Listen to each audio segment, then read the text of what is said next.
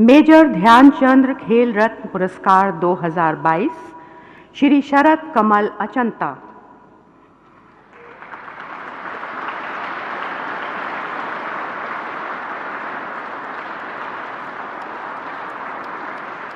उत्कृष्ट table tennis खिलाड़ी श्री शरद कमल अचंता ने राष्ट्रमंडल खेल 2022 में तीन गोल्ड मेडल, एकल, मिश्रित युगल एवं टीन और एक रजत पदक मिश्रित युगल।